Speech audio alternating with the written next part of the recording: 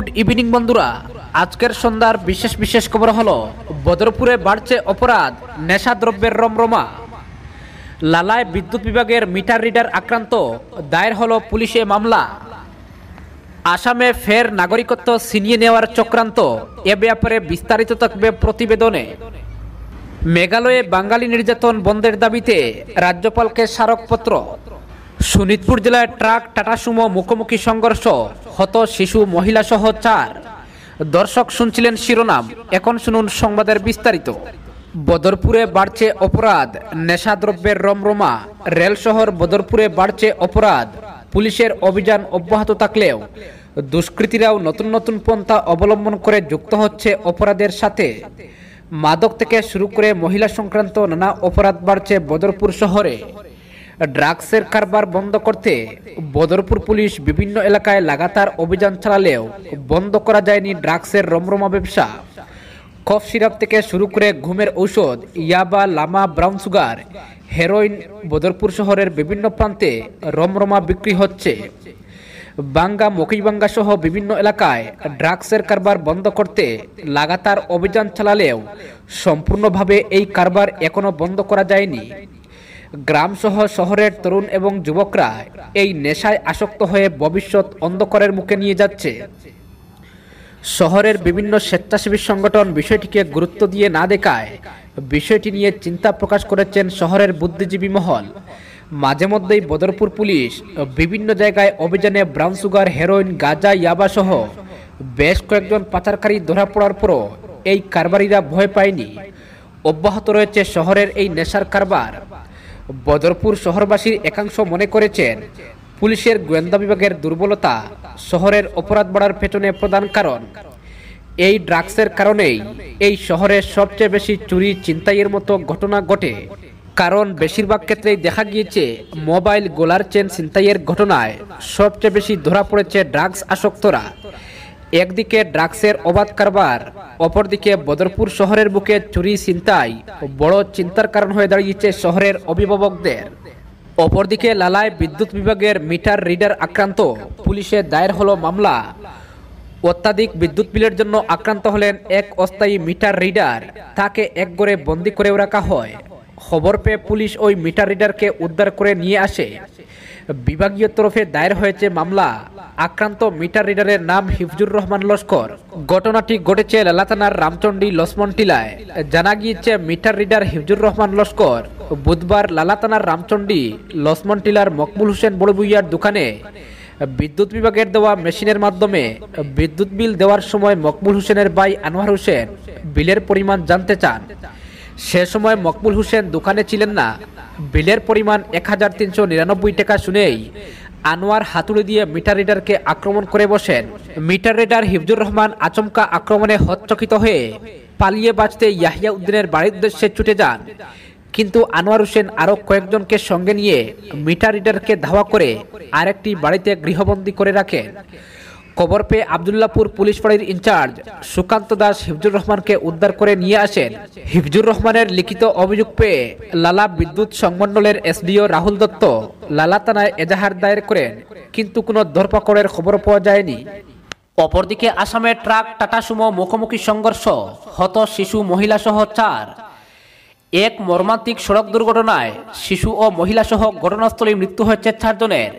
ঘটনা বৃহস্পতিবার মধ্য অসমের শোনিতপুর জেলার অন্তর্গত ডেকিয়াজুলির রবরটোলায় ট্রাক এবং যাত্রীবাহী টাটা সুমোর মুখোমুখি সংঘর্ষে সংঘটিত হয়েছে। একই দুর্ঘটনায় আরও আটজন আহত হয়েছেন। তাদের মধ্যে দুজনের অবস্থা সংকটজনক বলে জানা গিয়েছে। আহতদের তেজপুর মেডিকেল কলেজ হাসপাতালে নিয়ে ভর্তি করা হয়েছে। নিহত ও আহতদের সকলেই নিম্ন অসমের দুবড়ির বাসিন্দা বলে পরিচয় পাওয়া গিয়েছে। নিহতরা হলো আব্দুল আজিজ খান, বাবুল আলী, কুজেদা বিবি, আরিফুল হক বলে শনাক্ত করা হয়েছে। জানা গিয়েছে A S one seven D seven five eight three নম্বরের একটি টাটা সুমো ভাড়া করে দুবড়ি থেকে উজান অসমের জোড়হাটের উদ্দেশ্যে রওনা হয়েছিলেন একই পরিবারের কয়েকজন সদস্য। কিন্তু মধ্য অসমের ডেকিয়াজুলির রবরটোলায় নাগাল্যান্ডের রেজিস্ট্রেশনভুক্ত N L zero one K one eight two three নম্বরের একটি ট্রাকের সঙ্গে মুখোমুখি সংঘর্ষ হয় যাত্রীবাহী টাটা সুমোর। প্রচণ্ড সংঘর্ষে ঘটনাস্থলেই মর্মান্তিক মৃত্যু হয় আব্দুল আজিজ খান, বাবুল আলী কুজেদা বিবি এবং আরিফুল হকের। পরে স্থানীয় মানুষের সহযোগিতায় নিহতদের উদ্ধার করে ময়নাতদন্ত এবং আহতদের চিকিৎসার জন্য তেজপুর মেডিকেল কলেজ হাসপাতালে পাঠিয়েছে পুলিশ। আসামে ফের নাগরিকত্ব ছিনিয়ে নেওয়ার চক্রান্ত।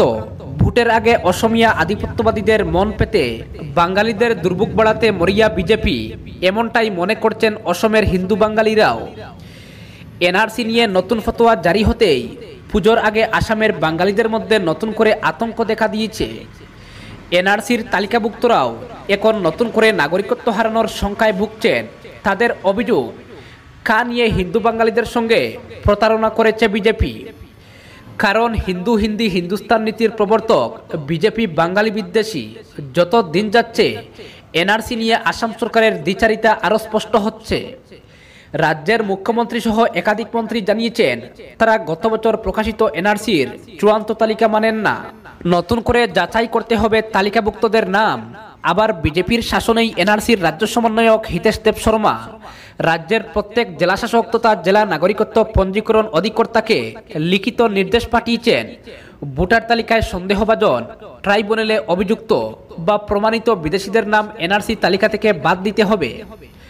সুপ্রিম কোর্টের তত্ত্বাবধানে প্রকাশিত এনআরসি তালিকা নিয়ে এ ধরনের সরকারি নির্দেশের তীব্র বিরোধিতা শুরু হয়েছে। পুজোর আগে বাঙালিদের সর্বনাশ করে অসমিয়া ভোট পেতে বিজেপি এই কৌশল নিয়েছে বলেও অভিযোগ উঠেছে। উল্লেখ্য, গত বছর প্রকাশিত এনআরসি তালিকায় উনিশ লাখেরও বেশি মানুষের নাম বাদ যায় বাদ পড়াদের বেশিরভাগই হিন্দু বাঙালি। তাদের মন জিততে তড়িগড়ি নাগরিকত্ব সংশোধন আইন পাশ করায় মোদী সরকার। কিন্তু সেই আইন আজও কার্যকর করা হয়নি। এনআরসি নিয়েও চলছে টালবাহানা। এই অবস্থায় ভোটের আগে ফের জুলা থেকে বেরিয়ে আসছে বাঙালি বিদ্বেষ। এনআরসি সমন্বয়কের পাঠানো নির্দেশের কড়া সমালোচনা করেছে সিআরপিসিসি। সংস্থার চেয়ারম্যান তপদীর ভট্টাচার্য বলেন, সুপ্রিম কোর্টের নজরদারিতে প্রকাশিত এনআরসি তালিকা থেকে নতুন করে নাম বাদ দেওয়ার চেষ্টা আইনশাস্ত্র বিরোধী। তাছাড়া কোটি কোটি টাকা খরচ করে সরকারি কর্মীদের দিয়েই তো তৈরি হয়েছে তালিকা। এই তালিকা যাচাইয়ের নামেও মানুষকে প্রচুর হয়রানি করা হয়েছে। এখন নতুন করে নাম বাদ দেওয়া বিদ্বেষের রাজনীতি ছাড়া অন্য কিছু নয়। বিদেশি ট্রাইব্যুনাল নিয়েও অসন্তোষ প্রকাশ করে তিনি বলেন, খুদ হাইকোর্টই সন্দেহ প্রকাশ করেছে ট্রাইব্যুনাল নিয়ে। তাদের বিচারের ওপর ভিত্তি করে কারও নাগরিকত্ব কেড়ে নেওয়া অন্যায়। এনআরসি বিরোধী আন্দোলনের নেতা সাধন পুরকায়স্তরের মতে, বিজেপি বাঙালি বিদ্বেষী, তাই হিন্দু হিন্দি হিন্দুস্তান নীতি কার্যকর করতে বাঙালিদের অসম থেকে উৎখাত করতে চাইছে কংগ্রেস নেতা পার্থরঞ্জন চক্রবর্তীর অভিযোগ, আসামে বাঙালির নাগরিকত্ব ও ভোটাধিকার কেড়ে নিতে বিজেপির সুপরিকল্পিত ষড়যন্ত্র কার্যকর করতেই এনআরসি সমন্বয়ক এই চিঠি দিয়েছেন। তার মতে মুখে হিন্দুত্বের কথা বললেও বিজেপি মনে প্রাণে বাঙালি বিদ্বেষী। অপরদিকে মেঘালয়ে বাঙালি নির্যাতন বন্ধের দাবিতে রাজ্যপালকে স্মারকপত্র।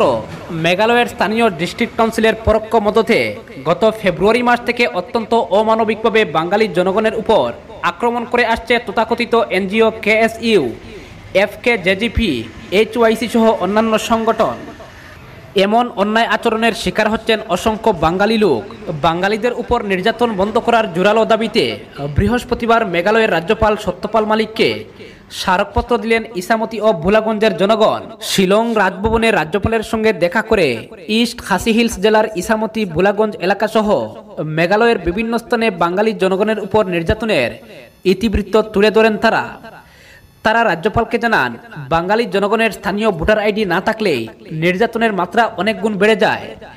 এছাড়া পরিচয়পত্র খতিয়ে দেখার নামে বিভিন্নভাবে হয়রান করা হচ্ছে রাজ্যের বাঙালি জনগণকে, যার ফলস্বরূপ অসংখ্য ব্যবসায়ী, সরকারি ও বেসরকারি চাকরিজীবী, স্থায়ী বাঙালি বাসিন্দারা কার্যত পণবন্দী অবস্থায় ঘরে রয়েছেন। তাই মেঘালয়ে বর্তমানে বাঙালি জনগণ অর্থনৈতিক সংকটজনক পরিস্থিতির সম্মুখীন হয়ে চূড়ান্তভাবে নির্যাতিত হচ্ছেন। শারীরিক, মানসিক ও অর্থনৈতিক হেনস্থা থেকে পরিত্রাণ পেতে মেঘালয়ের রাজ্যপালের আশু হস্তক্ষেপ কামনা করে এক স্মারকপত্র প্রদান করেন ইসামতি ও ভোলাগঞ্জ এলাকার জনগণ। রাজ্যপাল সত্যপাল মালিকের সঙ্গে সাক্ষাৎ করে একথা বলেছেন মৃদুল দাস, বিনায়ক রায় প্রান্তুষ সরকার প্রমুখ। রাজ্যপাল মালিক তাদের আশ্বস্ত করে বলেছেন, তিনি মুখ্যমন্ত্রী কনরাড সাংমার সঙ্গে বিষয়টি নিয়ে আলোচনা করে শীঘ্রই বাঙালি নির্যাতন বন্ধ করে স্বাভাবিক